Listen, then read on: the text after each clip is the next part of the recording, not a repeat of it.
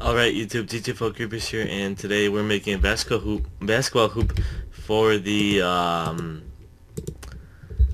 what's it called furniture series. So we're gonna put this one up against the wall. And I chose um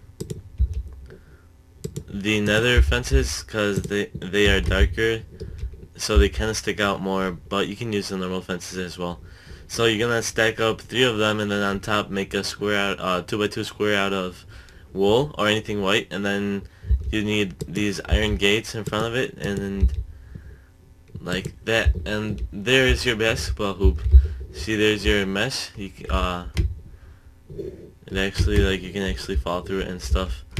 Um and yeah now you can take your orange wool and go Jeremy Lin on this. Ah alright I gotta make it in before I end this video Wow, I'm bad at this.